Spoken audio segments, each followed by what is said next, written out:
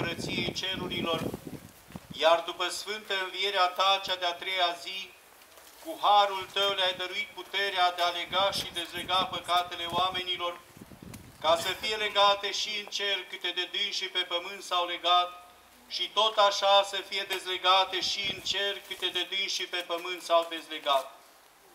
Cel ce prin nespusa ta iubire de oameni ne-a învrenicit și pe noi, smeriții și nevrenicii robii tăi, să fim moștenitori aceleași preasfândar și har, ca și noi de asemenea să legăm și să dezlegăm cele ce se întâmplă în poporul Tău. Însuți, prea bunule împărate, prin noi smeriții și nevrenicii slujitorii Tăi, iartă robului Tău gelul orice a greșit ca om în această viață. Dumnezeu să-l ierte. Și iartă lui toate câte a păcătuit, cu cuvântul sau cu lucrul sau cu gândul, dezlegându-l și de legătura pusă în orice chip asupra lui, cu care el însuși, din mânie sau din altă pricină s-a legat pe sine, sau de la preot sau de la altcineva a suferit o alunecare ca aceasta, prin invidia și prin lucrarea diavolului. Binevoiește prea bunule și mult îndurate, ca sufletul lui să se așeze cu sfinții care din viață au bine plăcuție, iar trupul să se dea firii cele zidite de tine, că binecuvântat și preamărit ești în vecii vecilor.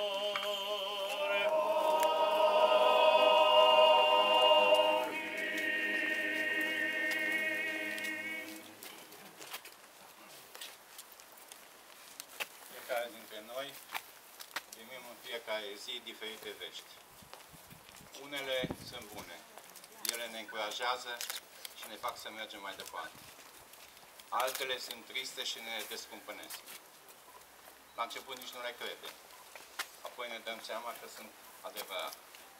La mijloc de februarie am primit o veste tristă, cum că gelul Barbu a trecut la cer, la Domnul. La început nu am crezut, apoi am dat un comunicat. Astăzi, împreună cu nepotul său, l-am adus acasă.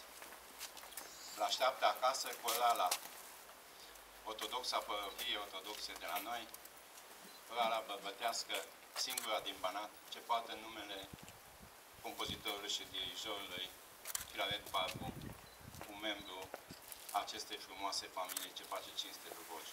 Așteaptă corul bisericesc, așteaptă în alții prelați, așteptăm fiecare dintre noi cetățenii acestui oraș.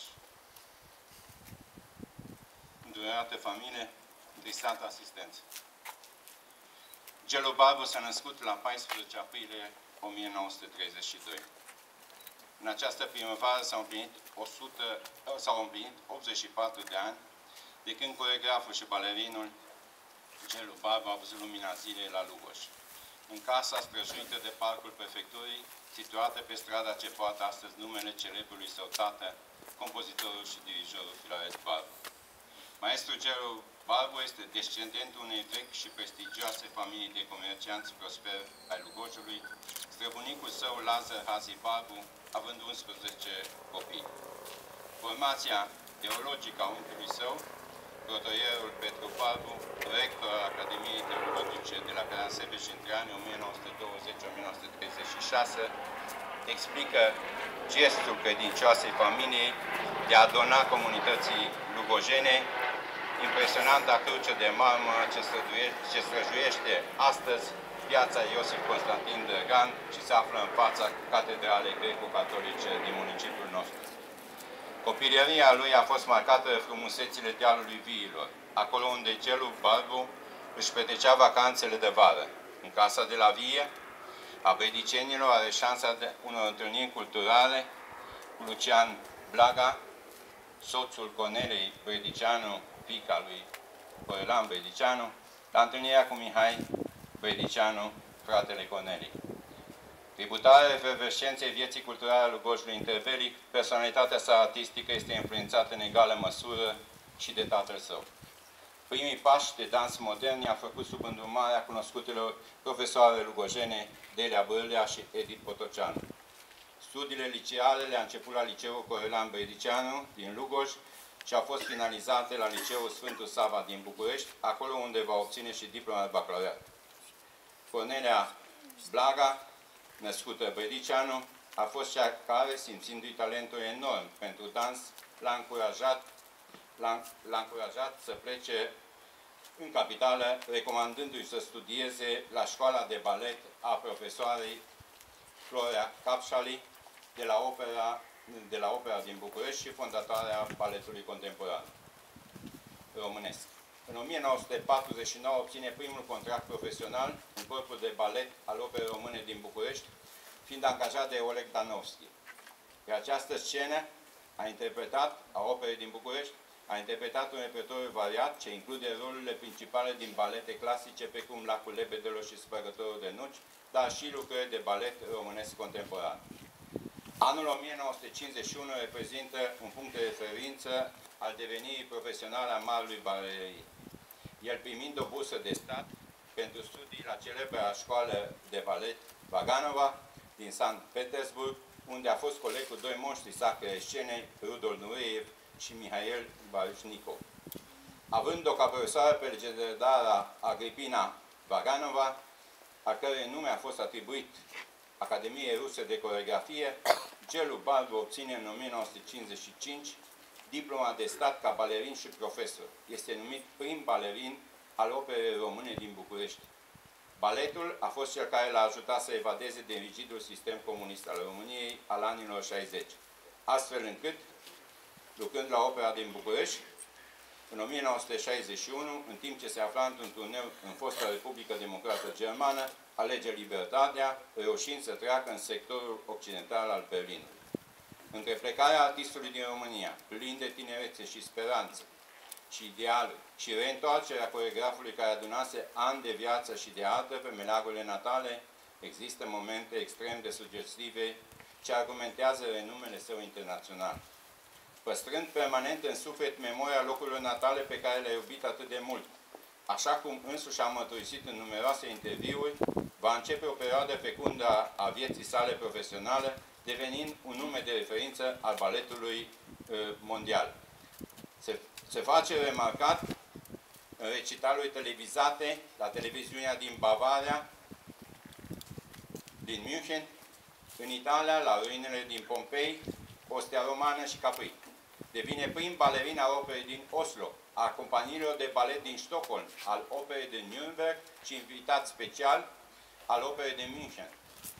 Drumul carierei sale parcurge aceste trasee care justifică fără îndoială opțiunea lui Gelu Barbu, dar și sentimentele determinate de despărțirea de țară, de colegii de scenă, de părinți.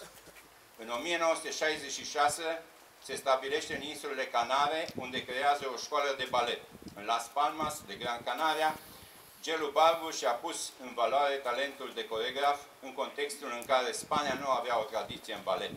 El a fondat prima școală de balet clasic din acest arhipelag, punându-și amprenta asupra multor generații de prestigioși artiști, creând personalități ale dansului internațional. Cu această companie a făcut multe turnee de succes în orașele Spaniei, în Portugalia, la Sankt Petersburg, revenind cu mare plăcere și emoție în țară după 90, ca invitat a Festivalului Internațional George Enescu la Opera Română din Timișoara, la Opera Națională de București, dar mai ales la teatrul nostru, la Traian Grozăvescu, din Lugojul său natal. Acolo unde va retrăi, așa cum am mărturisit ori de câte ori a avut ocazia, momente unice ale copilăriei, depănând amintiri, împreună cu bunele sale prietene, surorile Dobrin. Apreciat la superlativ de exegeți, superba sa carieră a fost încununată cu numeroase premii și distinții. Ca o recunoaștere a profesionalismului său, maestru Gelu Barbu a fost decorat în 1964 de regele Norvegiei Olav al V-lea cu Ordinul Constituției. În 1994, regele Spaniei Juan Carlos I îi decenează titlul de fiu adoptiv al orașului Las Palmas din Gran Canaria, titlul de cetățean de onoare. În semn de, în semn de mul mulțumire și recunoștință pentru modul desăvârșite care a adus faima locurilor natale, municipalitatea Lugojului îi conferă Marului Balerin în anul 2000 titlul de cetățean de onoare pe baza unei hotărâri a Consiliului Local din 1999.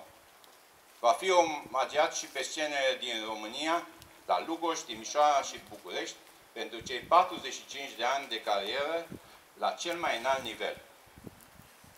La cel mai înalt nivel în lumea internațională a dansului. În semn de gratitudine, autoritățile spaniole din Las Palmas de Gran Canaria vor dezveli bustul său din bronz la Teatrul Perez Caldos. În anul 2002, președintele României Ion Iliescu îi acordă Ordinul Național Steaua României în grad de cavaler, devenită legendară pentru lugojeni. Amintirea maestrului Gelu Barbu va rămâne vie și memoria colectivă ca o lecție de profesionalism desăvârșit, de distinție și de modestie. Pentru toate acestea îi vom arăta veșnic gratitudine. Reîntoarcerea de această dată definitivă pe pământul natal pe care l-a iubit atât de mult, o trăim astăzi în cimitirul istoric de pe strada Făgetului, un adevărat panteon al orașului nostru, ce va păstra pentru veșnicie memoria celor care a fost un nume de referință a baletului mondial, Gelu Barbu. S-a dăruit tuturor. A fost o flacără care a ars fără zgârcenie pentru oricine i-a cerut sprijin.